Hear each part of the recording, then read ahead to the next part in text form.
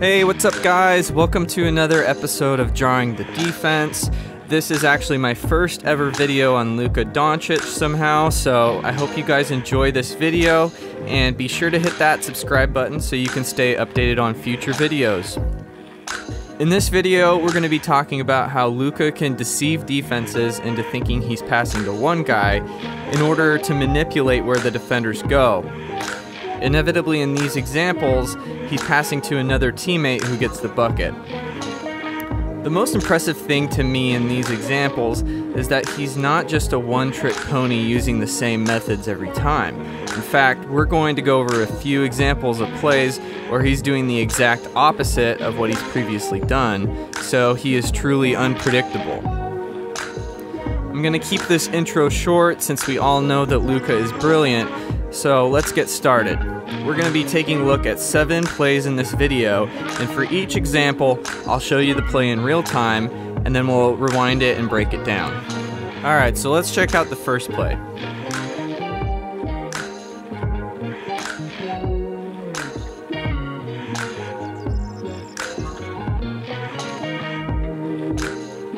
So in this play we have a pick and roll going towards the center of the floor and the defender goes over the screen so Luka puts the defender in jail by keeping him on his back. So Culver does a good job here of getting back into the play so Luka immediately goes into a pump fake which gets Culver in the air.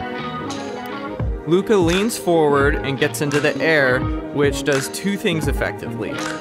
It gives him time to make the right decision and it moves the corner defender into the center of the floor in order to stop Powell. So Luka fires a no-look assist to the corner for a three. All right, let's take a look at the second example.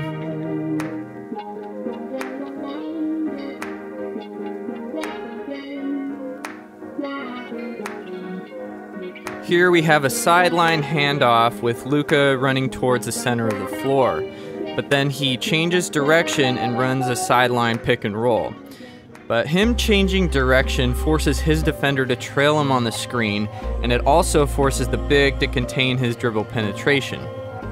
Additionally, on the weak side, we also see the guys on the wing and in the corner exchange spots. And Luka's eyes make it look like he's going to hit Kleber in the corner for another three, but he hits Tim Hardaway for a three up top instead. Third example.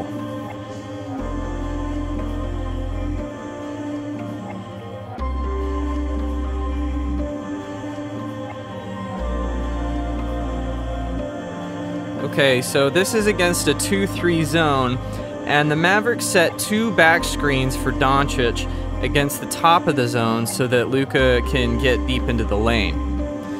After setting those screens, you have the screeners popping out to the top of the arc and to the corner.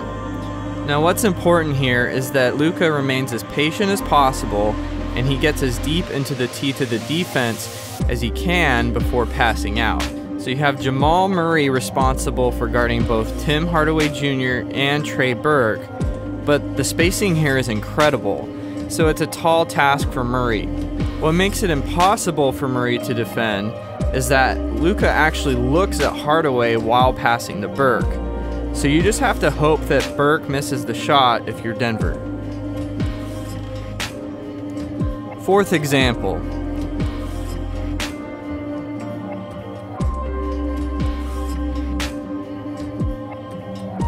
This one is a little different because Luka is off ball, and we have Hardaway Jr. and Porzingis run a pick and roll, which the Blazers switch.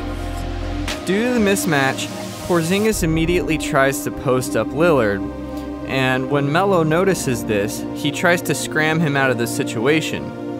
So Lillard needs to recover to Melo's man, but there's a moment where they're both on Porzingis. Now Lucas sees all of this, and he fakes the entry pass to Porzingis, and then he hits Finney Smith on the weak side for a wide open three. Fifth example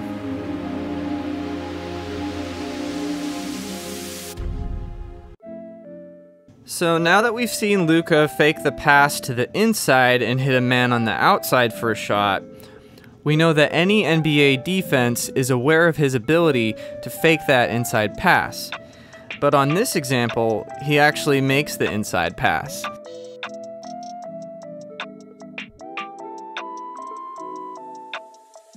The Spurs trap him on the pick and roll, and Luka waits to make the pass until Cauley Stein is deep in the lane. Then he gets in the air, which does two things effectively. It allows him to read the defense, and it also allows him to get off the pass over the length of the Spurs defenders. The Spurs eventually collapse, but it's after the pass is caught and it's too late at that point. Sixth example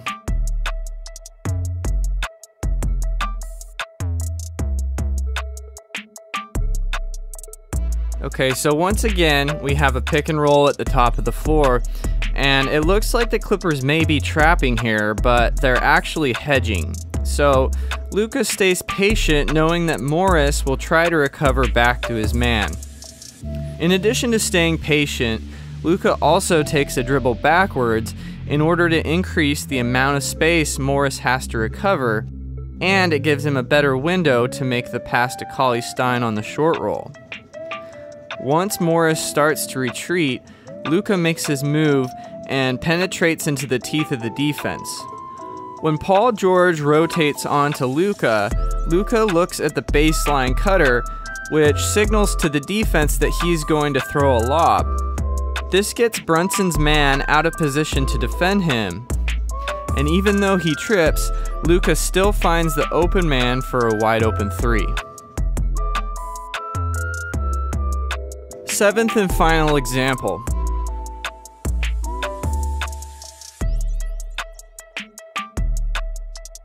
As mentioned earlier, what makes Luka so difficult to predict is that he's not a one-trick pony. Previously, we had seen examples of him faking the pass to the inside and hitting the man on the outside, and later that has set him up to make easier inside passes. Also in previous examples, We've seen Luka being very patient, waiting for the defense to collapse to make his pass. But here we see the opposite, and Luka notices the corner defender sag in even before he runs the pick and roll, so he makes the quick pass for a corner three. Well, that's it. Thank you guys for watching, and remember to subscribe for more content.